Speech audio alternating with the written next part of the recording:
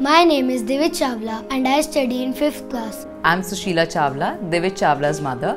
My son bagged the third position in International Maths Olympiad. The QMath ability knowledge worksheet and all the question papers helped me a lot and my QMath teacher cleared all the doubts so that I scored a good rank in International Maths Olympiad. Actually, Divij has been a part of the QMath family for the last two years and that has paved the way for his success. Moreover, the practice worksheets provided by the knowledge and the ability books along with the facilitation provided by Mrs. Ba- Babita Quatra has uh, helped him a lot. These QMath worksheets really make the questions a lot easy. It is just because of QMath and the facilitator, Mrs. Babita, that he is going to hit the bullseye, that is the gold medal. I love QMath and I am going to be rank 1 in next International Maths Olympiad.